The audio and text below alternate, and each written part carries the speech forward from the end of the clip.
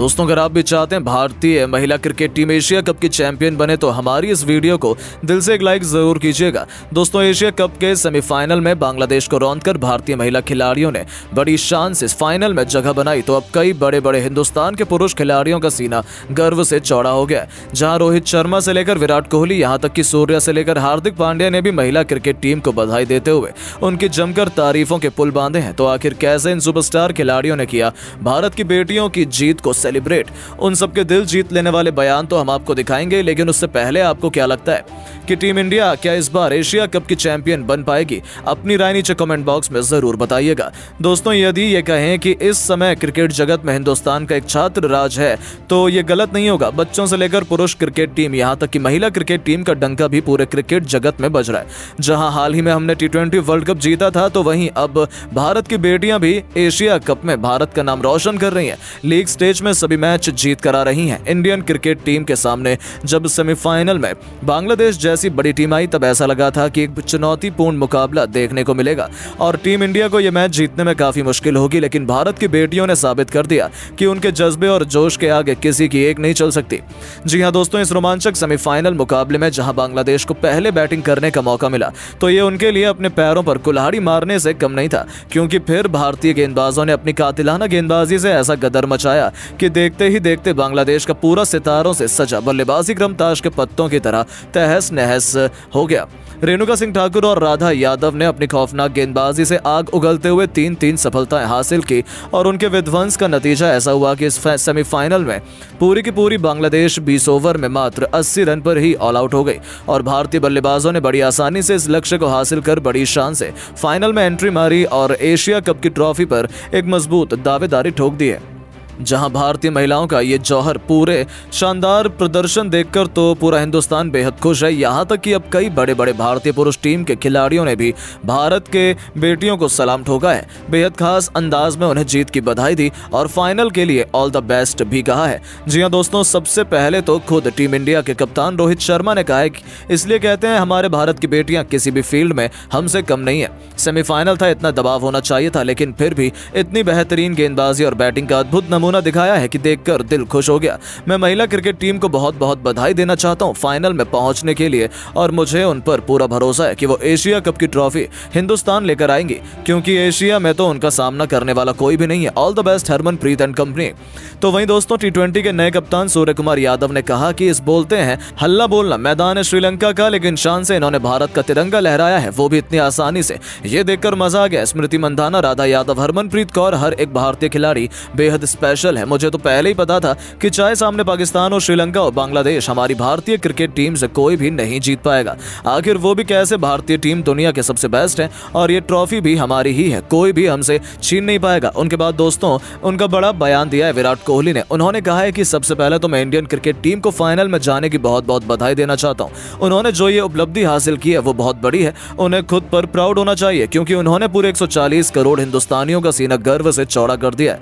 इसीलिए कहते हैं चाहे घरेलू जीवन हो या क्रिकेट का मैदान, महिलाएँ पुरुषों से किसी भी श्रेणी में कम नहीं है। जैसे हमने वर्ल्ड कप जीता था, मुझे पूरा भरोसा है कि हमारे भारत की बेटियाँ एशिया कप की ट्रॉफी जीत कर आएँगे। ऑल द बेस्ट टीम यहाँ तक कि दोस्तों, हार्दिक पांड्या का भी रिएक्शन निकलकर सामने आया है। उन्होंने कहा कि मुझे लगता है कि एशिया कप तो केवल फॉर्मेलिटी है, क्योंकि सब जानते थे हमारी इंडियन क्रिकेट टीम का मुकाबला कोई नहीं कर सकता है। आखिर हो भी क्यों ना? हमारे पास इतने बेहतरीन, इतने बड़े बड़े खिलाड़ी हैं। सेमीफाइनल मैच, इतने बड़े अंतर से जीतना, सामने वाले टीम को पूरी तरीके से नेस्ते नाबूद कर देना। वाह, इससे बेहतर जीत का रास्ता और क्या हो सकता है? अब तो मुझे बस फाइनल की ट्रॉफी का इंतज़ार है। ऑल द बेस्ट टीम मुझे पूरा भरोसा है, अब ज़रूर जीतेंगे।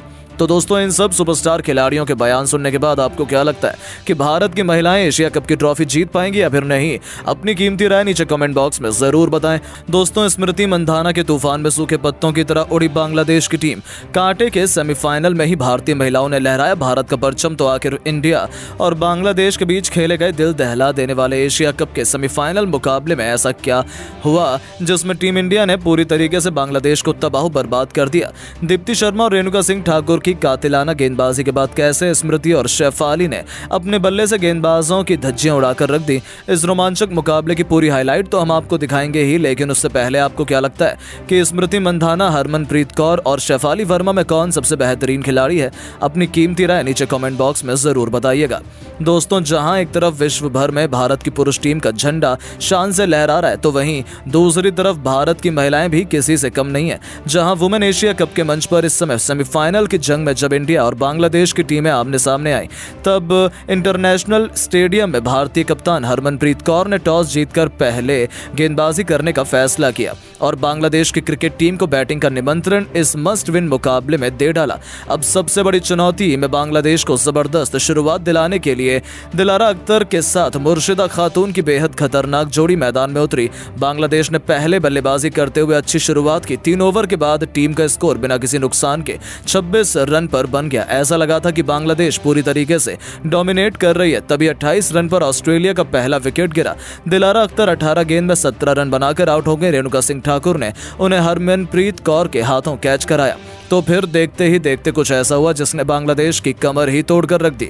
जी हाँ बत्तीस रन ही बने थे कि बैटिंग करने उतरी बांग्लादेश की कप्तान निगर सुल्ताना भी। हरमनप्रीत को अपना कैच थमाकर पवेलियन लौट गई और टीम इंडिया ने अभी से बांग्लादेश की हालत बिगाड़ कर रख दी। हालाँकि यहाँ से बांग्लादेश संभल भी जाती, लेकिन स्कोरबोर्ड में बिना एक भी रन जोड़े, यानी कि बत्तीस रन पर बांग्लादेश ने तीसरा विकेट गवा दिया। भारतीय गेंदबाजों ने पूरी तरीके से बांग्लादेश की टीम पर शिकंजा कस लिया था, जहाँ रुमाना, अहमद भी, रेणुका सिंह ठाकुर का शिकार बनी। इस खिलाड़ी ने लगातार अपने दो ओवर में दो विकेट चटकाकर सेमीफाइनल के मैच में हड़कंप मचा दिया था। बांग्लादेश के खेमे में हाहाकार मचा हुआ था। उन्हें समझ नहीं आ रहा था कि क्या किया जाए। भारतीय टीम मुकाबले में पूरी तरीके से हावी नज़र आ रही थी। हालाँकि बांग्लादेश अभी वापसी कर सकती थी, लेकिन पावर प्ले खत्म होने से पहले छठे ओवर की आखिरी गेंद पर उनका चौथा विकेट भी ढेर हो गया। रेणुका सिंह ठाकुर की मैच में तीसरी सफलता थी। उन्होंने अकेले बांग्लादेश की धज्जियाँ उड़ा दी, जिससे बांग्लादेश की क्रिकेट टीम इस सबसे बड़े मैच में पूरी तरीके से बैकफुट में धकेल दिया गया।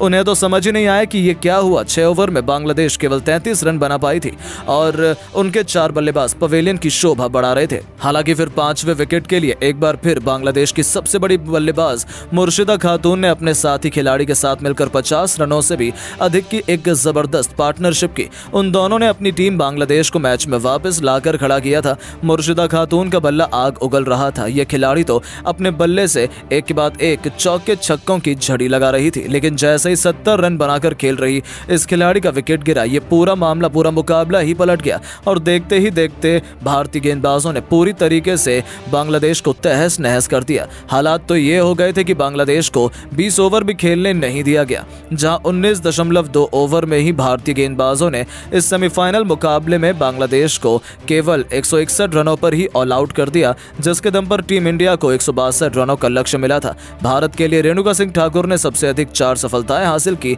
अब इस मुश्किल लक्ष्य का पीछा करने के लिए भारत की दो सबसे खतरनाक स्मृति मंदाना और शेफाली वर्मा की जोड़ी मैदान में कदम रख चुकी थी। इन दोनों के सामने बांग्लादेश के गेंदबाज आग उगलने को तैयार थे, लेकिन पहले ओवर में बांग्लादेश की हालत खराब हो गई।